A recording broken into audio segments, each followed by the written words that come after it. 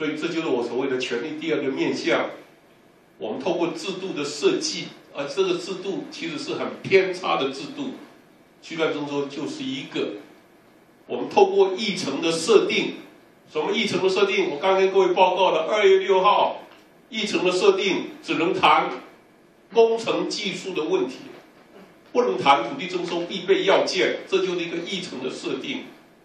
又如我又如同我在台南，我已经帮参加他们的都市计划的陈情会议，陈情的会议就如同这礼拜一、礼拜二在桃园发生的一模一样。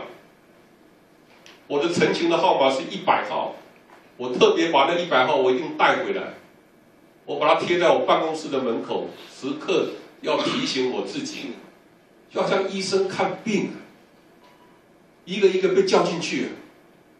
一个一个被叫进去，你知道吗？我们在东边的礼堂，在台南市，然后呢，都委会是在西边的那一边的会议室，沿途被叫进去，沿途都是警察。然后进去之后，主席也是我认识的人，跟我讲：“你有三分钟时间，但是因为你是教授，我多给你两分钟，所以我有五分钟时间。”讲完五分钟之后，主席就讲。徐老师，谢谢你，你可以回去了。没有任何的回答，针对我的问题没有任何的回答，没有任何的回应。我们只是去那边表达我们的心声。试问各位，这样叫做沟通对话吗？我们有做到沟通对话吗？我也听不到前面九十九号到底在讲些什么。我一百号讲完之后我就走了。礼拜一、礼拜二在桃园又何尝不是如此？可以这么做吗？试问啊，在场的朋友，我们可以这么做吗？当尤其是七零九号解释文出来之后，我们竟然还是用这种陈情请愿的方式在聆听民意，那是人家的土地，那是人家的地，人家的家，结果我们这样子啊，在轻视人家。这个我要跟各位讲，所以议程的设定，这个都是议程，我不知道各位听得懂吗？哈，应该知道啊，这都议程的设定，一个一个叫进去，一百号，我那个一百号，我要贴在胸门，啊，贴在我的胸前，领号码牌，一去就领号码牌，这是我们现在我们的都委会公共利益的决定的模式，领号码牌，各位觉得这样适当？第三个有权利人更高一段，他会创造一些意识形态跟迷失，比如说专家，对吧？哇，都专家决定的，专家写的文章你看得懂吗？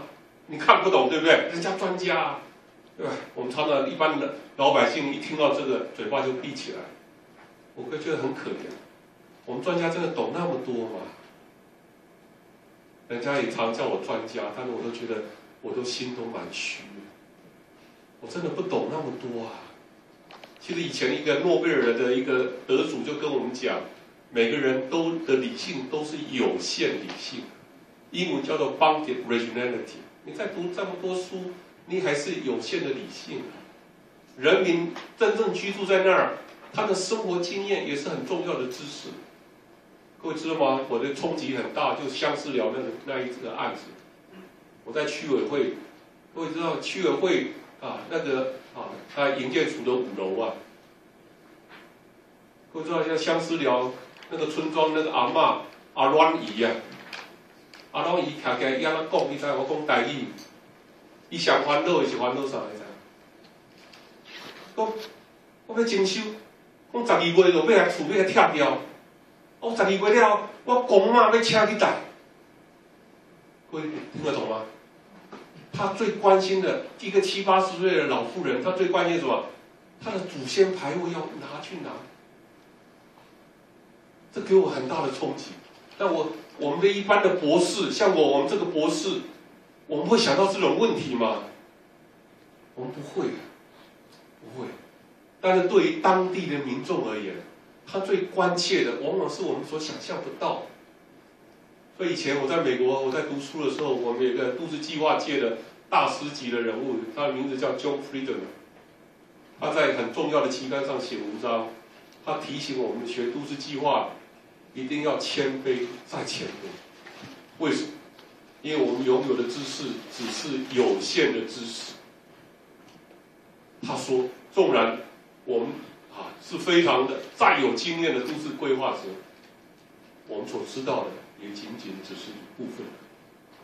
他用这样这样的话，不断的在提醒我们这学都市计划的一个后进人啊，一些年轻人，我们所拥有的知识，我们拥有的理性，其实都是有限的。所以有人讲啊，这专家，有人把它昵称、戏称叫什么呢？他说专门在害人家。我们真的各位要真的要小心了。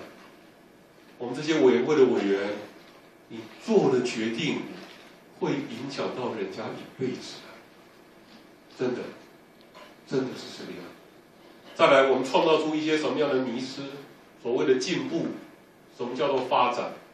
我往往说什么地价会上升，那就是进步，那就是发展；GDP 会提高，那就是进步，就是发展；就业率会增加，那也就是发展，那就是进步。真的是这个样子。我们是不是长期被教化？我不用教育，我长期被教化、被洗脑，我们接受了这种发展啊的一种概念啊，这是权力的三个面向。所以在权力的第三面向跟权力的第二面向的运作之下，我们很多土地的意涵啊被扭曲、被窄化，尤其是被排除在外。尤其是第二个，更重要是第三个，我们被排除在外。在我们做土地政策的决策的过程当中。我们这些土啊，第二个跟第三个重要的意涵被排除在外，你只能从你家一平多少钱来看待你自己的土地，怎么样？我们现在都是从一平多少钱看待土地。我在看都市计划的书，不管是台啊新北市或者台南市，我看那都市计划通盘检讨书。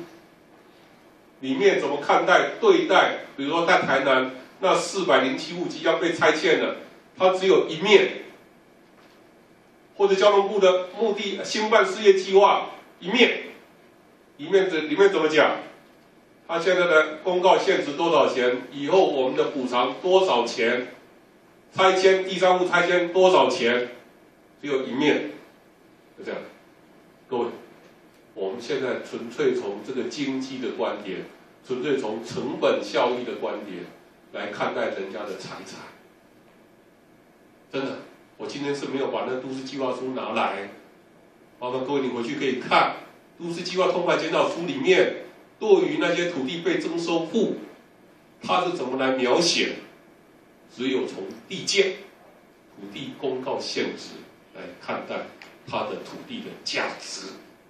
我问各位，这样可以吗？土地的价值只有用地价的观点来可以诠释，啊，所以我们长期以来把我们的问题都把它变成很多的社会问题，我们都把它变成只是金钱的问题，我们把它把问题把它扭曲，把它转化。土地征收的问题应该是个基本人权保障的课题，但是经过我们这样的一个转化，对土地的啊意涵的一个扭曲。我们把土地把它扭曲变成只是一平多少钱的一个金钱问题，所以我们也可以常常啊，我我们从往往从地价补偿的一个观点来看待我们的啊土地的一个问题。这是我啊这张 slide 啊要跟各位啊所分享啊，但是啊，因此在这边要跟各位来谈谈啊，我目前土地规则。